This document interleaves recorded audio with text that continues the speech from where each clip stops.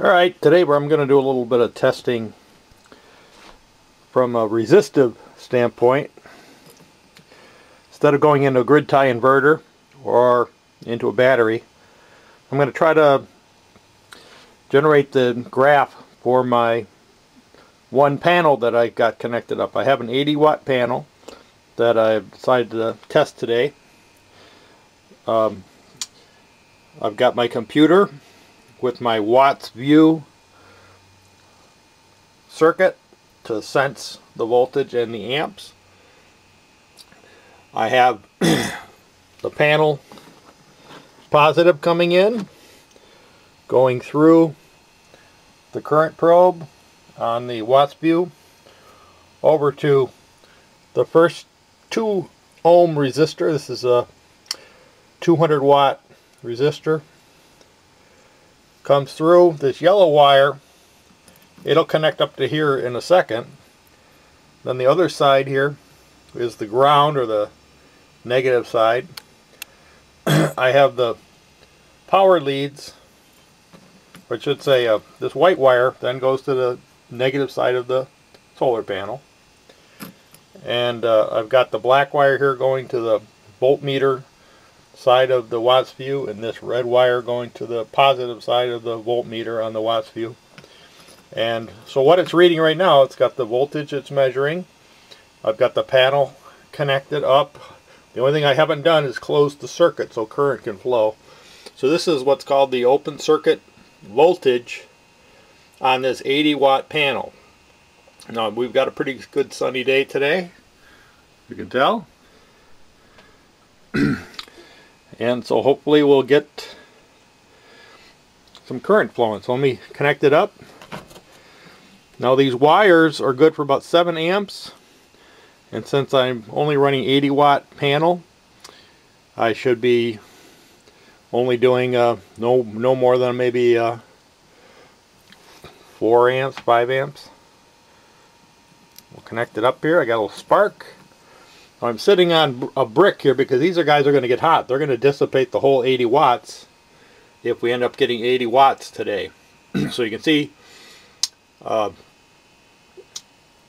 we the voltage has dropped down to 13.3 and the watts is sitting at 42 right now and I'm uh, dissipating or I'm, I'm the the uh, amp flow is 3.2 amps so I'll uh, monitor this through the day and I'm logging the data. You can see I'm logging it up here. So we should be able to collect some good data from a solar panel doing resistive load testing to see where it leads us.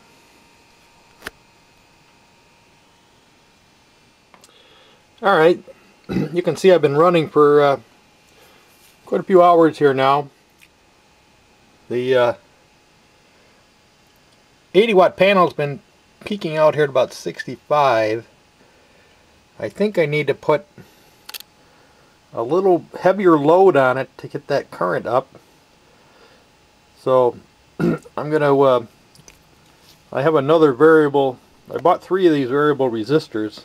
I have now this, and these are set up uh, just end to end. I have this variable one shortened up here so I'm going to put that in there and uh, have you know replace this one here. That one's too hot right now so I'm going to take the camera off and do that and I'll show you in a second. I also you can tell I doubled up on the wires. They were getting a little bit soft because I am I am uh, putting some good current through here. We get the current up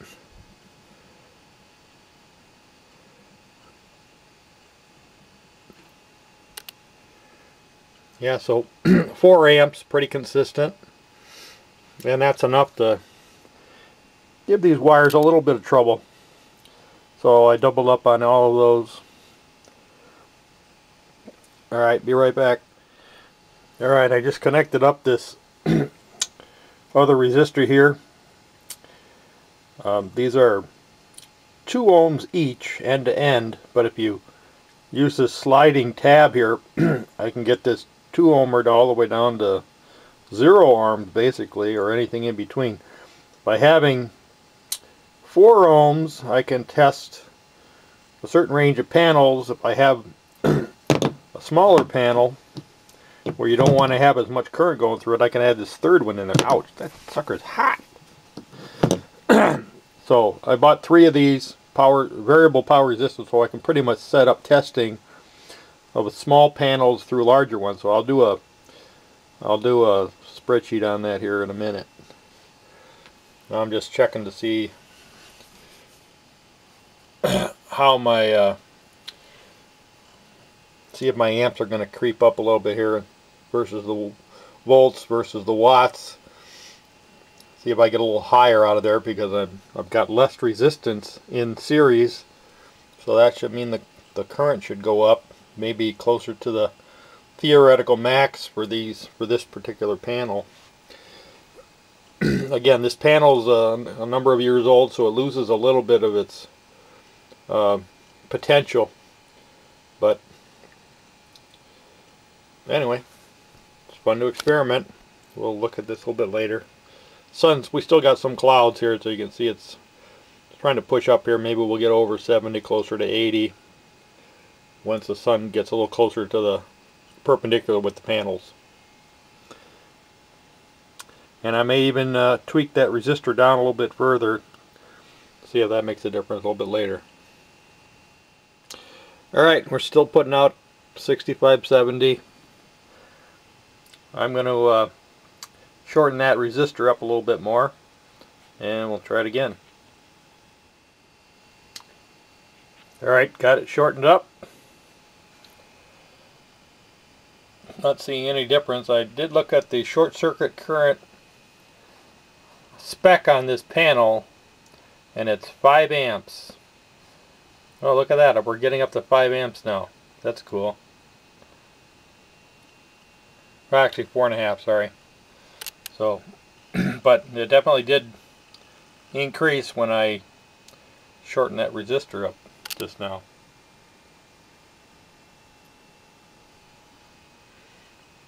I'll let it run for a little bit here. Get back on my readouts. Yeah, we're up to 4.4.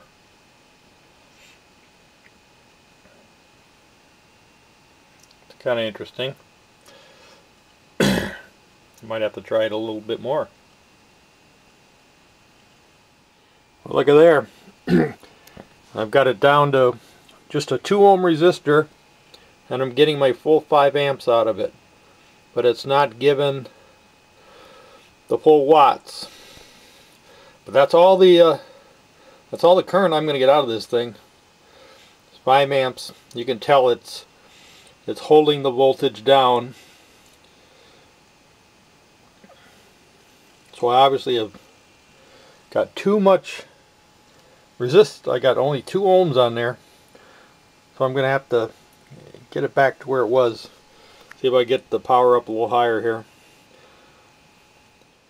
Alright, here we go. Now I just have, I got 2 ohms here and maybe 1 ohm here, a little less than that. I can measure that afterward. Plus there's a little bit of resistance in the panel. Now I'm at about 64 watts, 4 6 amps. Given the sun, the sky's got a little milky to it, but I think this is pretty pretty good. I got the voltage back over uh, 12. The maximum, I think the the max or the voltage it should be getting the maximum power point is at uh, 17.4. So I probably still have too much of a, of a load on here. I should get that voltage up to that 17 point. So let me uh, tweak it a little bit more. Okay, I got it up to the, I just put the full 2 ohms on, or 2 and 2, so 4 ohms. And the voltage is 16. I don't think I've been getting any higher than that. Amps at uh, 3.9. So this might be as much as I'm going to get out of these panels today. Uh, but anyway, it's kind of interesting seeing that effect of putting a heavier load, resistive load on it and seeing what the impact is on volts and amps and the associated watts.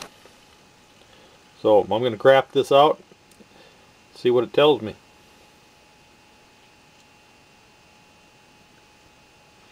Probably the ideal thing is to have that voltage up there as close as I can to 17.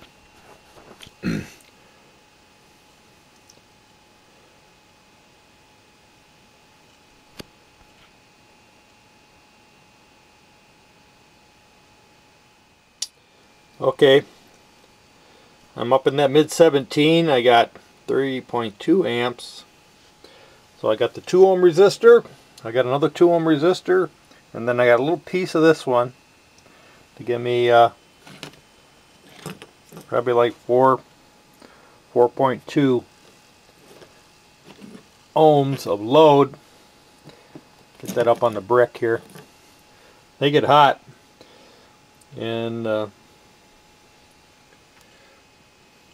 you can tell it's it's not necessarily giving me more power because I got the voltage up.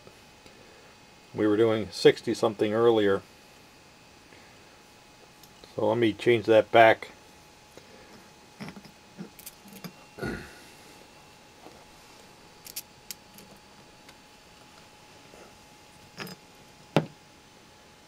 That one's out of the picture running with 2 ohms, or 4 ohms total. 63 watts. That's probably as good as we're going to get today. We'll look at my watts here.